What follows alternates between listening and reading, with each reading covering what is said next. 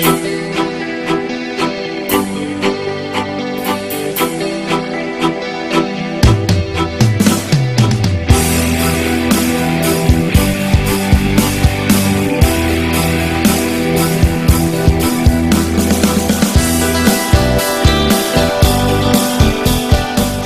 ိသတ်တွေအားလုံးတာလီစွာပါ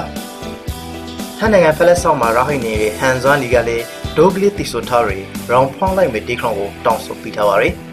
သူကတော့ဇာတိရန်ပေမရုနေပရန်ရှောင်းကဖိုက်ပါရယ်အီတီခေါင်ကိုရန်ပေမရုနေကအကိုရှေအတွက်တောင်းဆိုရှောင်းပါရယ်အီတီခေါင်ကိုပေါင်းပြီးစီရှောင်းပါရယ်နောက်ပြီးကအကိုရှေဒီတေခေါင်ကိုနားထောင်ဖိုက်ပါစီလို့ညီမရှိအဝိတနေရကဆူတောင်းလိုက်ပါကြောင်းဆိုပြီးကရန်ပေကအကိုရှိအတွက်ဟန်ဇွမ်လီကလည်းတောင်းဆိုပြထားပါတယ်ခံစားနာဆောင်ပြပါတယ်